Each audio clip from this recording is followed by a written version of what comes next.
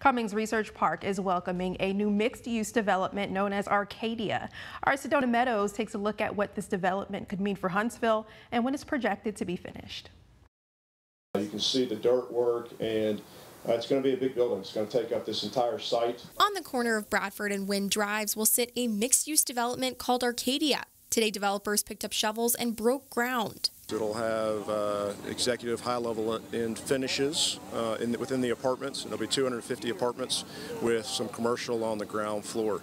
Uh, out at the corner, it'll be a six-story building which we're pretty excited about. Being on a busy corner surrounded by many tech and defense companies, developers say this mixed use area is meant to make it easier for people to get to their jobs, providing 250 new residences, all while being able to utilize the retail and commercial space. You can live close to uh, the job center in North Alabama, um, close to Redstone Arsenal. And you know, we hope to create with what we already have as our neighbors in uh, the cyber school and Redstone and all of the employers around us uh, a new mixed use live work play node. Huntsville couldn't be more accurately described than as the city of the future.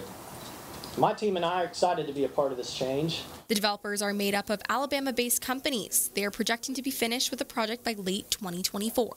Sedona Meadows, Fox 54 News.